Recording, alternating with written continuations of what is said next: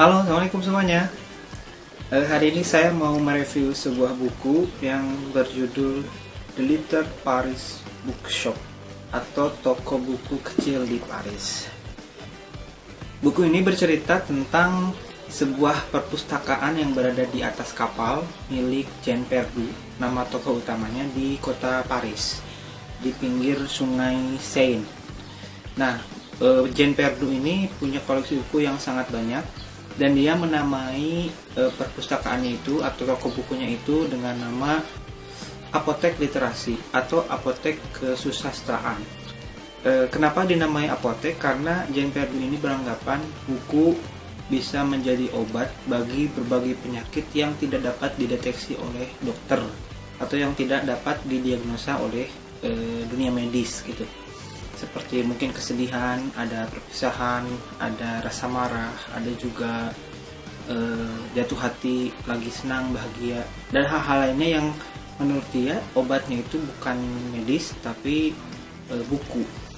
Nah sebenarnya unik karena Jean Perdu ini atau buku ini secara umum memberi sudut pandang baru gitu kalau buat saya bahwa membaca itu di, di budayanya masyarakat yang digambarkan di buku ini sangat-sangatlah penting gitu. Sehingga untuk urusan e, cara membuat simpul tali aja itu ada bukunya. E, untuk memahami bagaimana sebuah kesedihan ada bukunya. E, bagaimana supaya menahan amarah ada bukunya. Jadi segala sesuatu itu kembali ke buku. Sehingga si Jean Perdu ini selalu menekankan kepada masyarakat yang datang ke toko bukunya bahwasanya segala hal itu ada obatnya dan obatnya itu adalah buku jadi kita harus kembali ke buku intinya gitu. Si Jean Perdu ini juga beranggapan bahwa setiap buku yang ditulis oleh seorang penulis itu tidak akan selalu cocok untuk semua jenis masyarakat. Ada yang hanya cocok untuk seribu orang, ada yang ada yang hanya cocok itu untuk 100 orang, bahkan ada juga yang hanya cocok untuk satu orang saja. Dia menyatakannya ada sebuah buku judulnya itu The Sultan Life dan dia ngerasa buku itu hanya cocok untuk dirinya sendiri.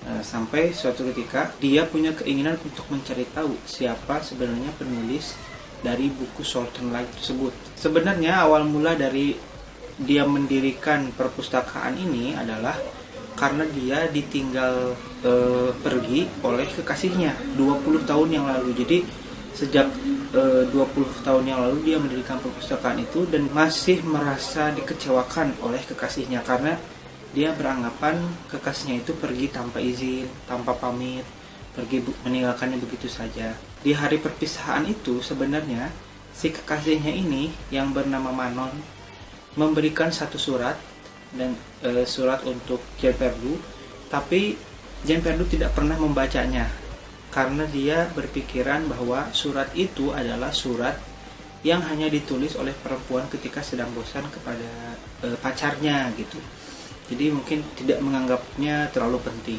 Kemudian suatu hari di apartemennya itu ada penghuni baru yang dia tidak punya apa-apa di apartemen barunya. Begitupun dengan Jean Perdu. Jean Perdu itu ketika kekasihnya itu pergi, dia menjual semua barangnya, semua barang-barang dalam apartemennya sehingga yang tersisa itu hanya buku-buku dan satu buah meja katanya. Dan dia berencana untuk memberikan meja itu kepada tetangga barunya. Cuma karena meja itu berada di dalam sebuah gudang yang sudah lama tidak pernah dibuka, akhirnya dia membuka gudang itu di mana dia terpaksa kembali pada ingatan-ingatan dengan e, kekasihnya yang pergi itu. Sampai setelah dibukanya gudang itu e, dia menyadari bahwa di sana tuh ada sebuah surat yang sejak 20 tahun yang lalu itu tidak dibuka atau ditinggalkan begitu saja. Sampai suatu hari dia membuka surat itu dengan sangat terpaksa. Dan ternyata isi suratnya itu bukan tentang seorang perempuan yang sedang bosan kepada pacarnya, tapi melainkan e, sebuah kabar bahwasannya pacarnya itu sedang sakit dan sedang sekarat gitu. Dalam kondisi sekarat itu dia menunggu kedatangan Jean Perdu untuk mendampinginya begitu. Betapa menyesalnya dia baru membaca surat itu setelah 20 tahun e, ia biarkan.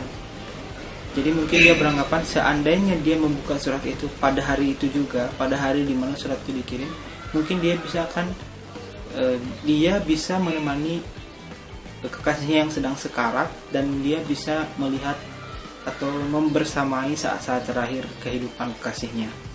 Akhirnya dengan semangat setelah membaca surat itu, dia bersemangat untuk meninggalkan Paris. Dia membuka kunci perahunya, kemudian perahu yang selama 20 tahun itu selalu berada di pinggir sungai sungai sungai Seine itu di Paris, tidak pernah bergerak.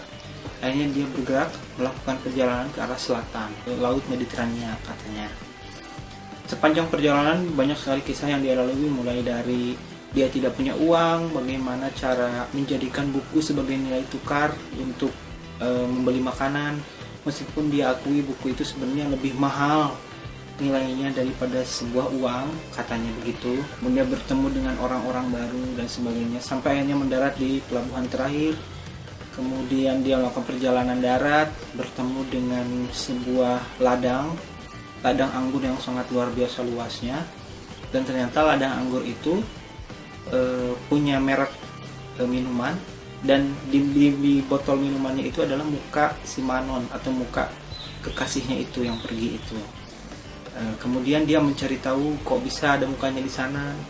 Dia melakukan perjalanan lagi lebih ke selatan lagi dan pada akhirnya dia tahu bahwa e, kekasihnya itu menikah dengan pria lain yang bernama Luke dan si Luke ini tuh ketika menikah dia diberi eh, ladang anggur oleh orang tuanya si Manon. Kemudian Manon ini dijadikan sebuah brand untuk anggurnya. Sebelum meninggal itu dia sempat punya anak, anaknya itu bernama Victoria. Di endingnya setelah dia mengetahui bahwa perempuannya itu menikah lagi dengan lu, kemudian dia mengetahui saat-saat terakhir ketika sekarat, kemudian dia tahu uh, ada anak tirinya begitu dia pun merasa uh, hidupnya sudah dan dia juga bertemu dengan siapa sebenarnya penulis dari Sultan Lai itu yang sepanjang perjalanan tuh dia selalu nanya kamu penulis Sultan Lai kayak kamu, kamu dan gak ada yang pernah ngaku.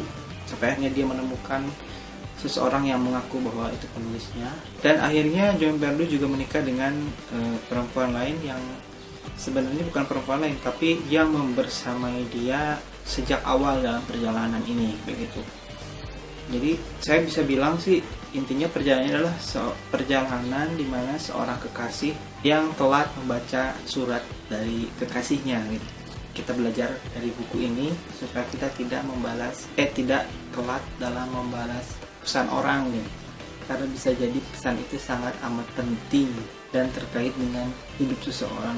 Saya merekomendasikan buku ini untuk dibaca karena selain kisah cintanya, kemudian beberapa pilihan diksinya juga yang lumayan bagus. Buku ini tuh kalau menurut saya bikin saya semangat lebih banyak mengembalikan segala hal itu ke buku gitu. Bukan mengembalikan segala hal itu ke Google gitu lah ibaratnya. Karena kalau menurut buku ini apa-apa itu ya baca buku bukan dengan secara praktis cari di Google gitu buku ini tebalnya sekitar eh, 400 halaman lebih menariknya karena di buku ini banyak membahas makanan juga menyebutkan banyak makanan di belakang bagian di akhirnya itu ada resep nah jadi resep-resep makanan siapa tahu kita pengen masak-masak makanan-makanan yang disebutkan di eh, buku ini selain resep juga sebenarnya di buku ini juga disebutkan berbagai judul buku yang menarik kayak misalkan e, buku yang tentang sejarah, buku tentang kesedihan, buku tentang jatuh cinta dan sebagainya. Dan buku ini juga bagus juga nih kalau dibaca oleh seorang pustakawan. Karena kan kadang ada orang yang datang ke perpustakaan itu nggak tahu mau baca buku apa. Pustakawan itu kalau menurut si John Perry itu ya harus seperti seorang apoteker dia punya keahlian untuk memilihkan buku untuk orang yang datang. Misalkan ada orang yang datang ke perpustakaan, kemudian dia bilang ke tugasnya bahwa saya sedang sedih, saya ingin membaca buku tentang uh, kesedihan, atau mungkin justru ingin membaca tentang kegembiraan. Maka si pustakawan itu harus tahu buku apa saja yang berkaitan dengan yang dibutuhkan oleh pembacanya, sehingga dia tahu ngasih judul buku ini yang tepat ini yang tidak tepat ini yang tepat yang, yang tidak tepat dan sebagainya. Dan itu review saya kali ini untuk buku The Little Paris Bookshop. Dan selamat membaca terima kasih